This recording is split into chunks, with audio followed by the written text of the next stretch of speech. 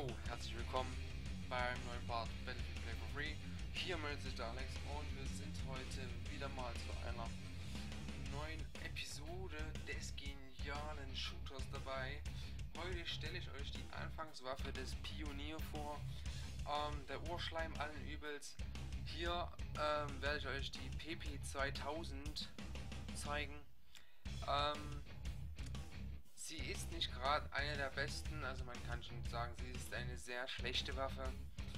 Und ich möchte euch trotzdem zeigen, wie diese Waffe ähm, ihre Stärken ausnutzt oder ihre Schwächen hervorzeigt. Ähm, auf jeden Fall zeige ich euch heute mal dieses schöne Stück hier. Ihr könnt es mal betrachten, hier in meinem Arm halte ich es. Und ähm, sie hat einen niedrigen Schaden. Das ist ja schon mal ganz toll, ne? Für eine Pionierwaffe. Gut, es ist kein Sturmsoldat, es ist auch kein Medi. Sie hat nicht viel Magger und sie hat auch ähm, Präzision ähm, Mittel, also nicht ganz derbe. Äh, sie reicht für den Anfang aus, ist aber dann weiterhin dann. Ach du Scheiße, das gerade. Ist aber dann für den weiteren Gebrauch nicht gerade gut. Und jo. Ihr seht, ich habe den jetzt gerade eben, weil die äh, Präzision mittel ist und das Ding immer hochzieht. Ähm, habt ihr gerade gesehen, dass ich mir den so wenig Damage gemacht habe? Jetzt habe ich gerade eben das Ding mal unter Kontrolle bringen können Typen da vorne eins in den Kopf ballern können. Das war jetzt ein Sniper gewesen.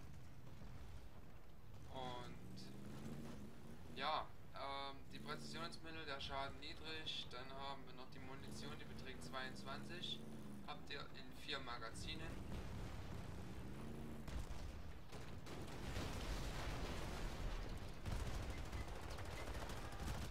wollte jetzt eigentlich aussteigen und losballern, aber ich musste mich erstmal orientieren und das hat zu lange gedauert.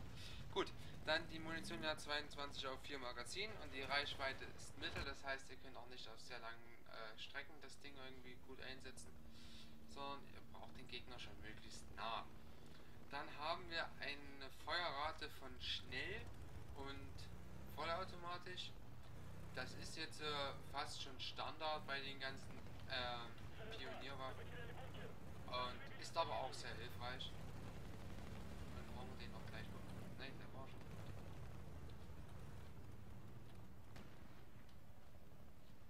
So, ist hier irgendwo jemand. Ja, da war einer, aber Hintermann hatte noch ein bisschen mehr Magazin als ich. Da seht ihr, dass die 22 Schuss bei schlechten Zielen und bei diesem niedrigen Schaden sehr schnell draufgehen, um vielleicht nur eine Person zu töten.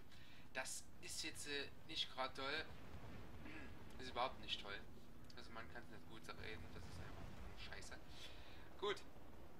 Das Ding habe ich jetzt aber noch ausgestattet mit dem Rapid Aim Red Dot Visier, dem taktischen Schaft. Und, war jetzt hier einer? Taktischen Schaft auf jeden Fall. Dem Predator Lauf und dem Viper Magazin. Was mir jetzt schon ein bisschen mehr aus dieser Waffe äh, rausholt oder was generell ein bisschen mehr bringt. Sonst wäre diese Waffe total scheiße. Also das wäre dann totales Lump. Kaufen kann man sie sowieso nicht. Als Pionier hat man sie von Anfang an den Übel hier. Ähm, bringen tut das auch nicht gerade viel. Also man sollte sich dann demnächst entweder eine neue Waffe holen oder diese hier halt sehr gut aufmotzen, aber ich stehe eher zu zweiteres tendieren.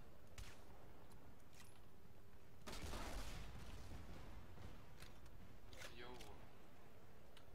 Ich mache jetzt hier. Jo, Senderkiller, so.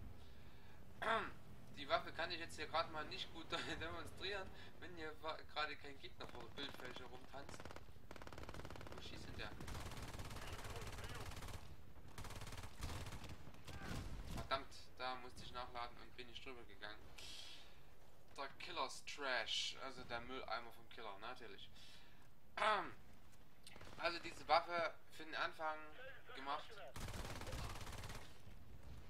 Oh, da schieben wir uns mal schnell eine Spritze rein. Nein! Du willst mich doch messern, Alter. Doch verarschen, Alter. Der Messer, der mich der Arsch hier. Der Wildbohr. Wildbohr. Bin ich da jetzt spawn? Na, zum Glück nicht. Der wäre ich jetzt ausgerastet. Das ist scheiße gewesen. Ähm, ja. Ist jetzt wo das nächste Fahrzeug? Hier nicht. Toll. Steht hier unten eins? Nee. Ist halt scheiße, wenn man sich hier nicht so schnell fortbewegen kann, ne? Gut. Oder halt auch nicht gut. Die PB2000 auf mh, hm, kurze Reichweite. Oder wie ihr seht hier, habe ich mal ganz kurz was ziehen können. Hab ich mal ganz kurz ein wenig Schaden machen können.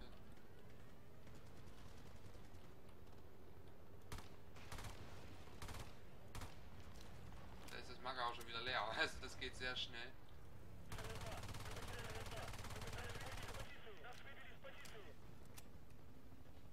Wenn das Mager halt so schnell leer ist, hier vorne war es einfach. Ja! Scheiße. Zu langes Nachladen und ein Sniper, der besser trifft als ich mit einer vollautomatischen Pionierwaffe. Das bringt dann schon nicht gerade viel für mich.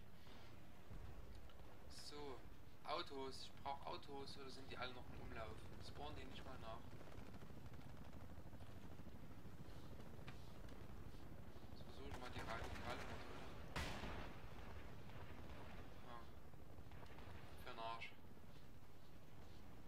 Wann ich denn jetzt hier?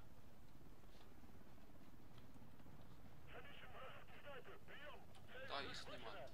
A gehört uns, also machen wir auf zu... Ja, komm schon, komm, komm, komm, komm. Den hol ich mir. Komm schon, fahr. Bin ja beim Laufen schneller.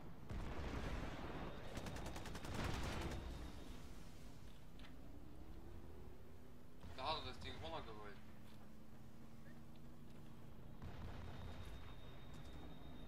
Ich glaube, ich wollte es gerade reparieren, mein Kollege, aber das wird anscheinend dann nicht. Scheiße, komm. Komm schon. Penner. Okay, den brauche ich nicht mehr abzuschießen. Aber da ist ein Auto.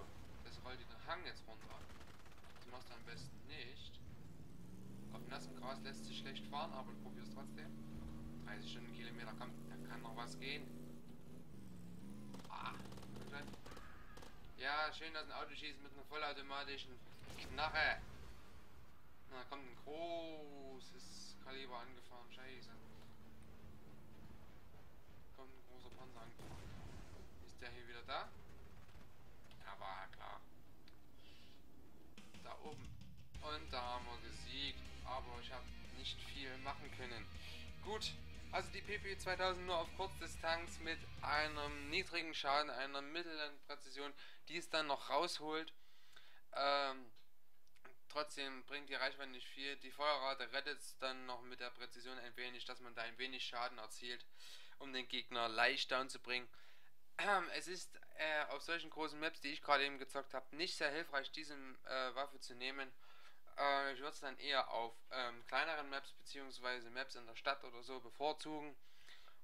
Und ja, das wäre meine Empfehlung. Kaufempfehlung ist ja sowieso nicht.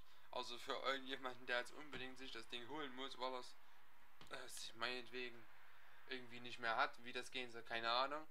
Auf jeden Fall aufmotzen, weiß ich nicht, ob das sich so richtig lohnt, denn äh, wenn man jetzt schon wie ich hier ähm, das, das ordentliche draufgepackt hat und es trotzdem noch nicht so viel bringt, ähm, ist es fraglich, ob es dann überhaupt was bringt, die Waffe aufzumotzen und ob man dann nicht lieber eine neue kauft. Das wäre meine Empfehlung an euch. Bis zum nächsten Video. Haut rein.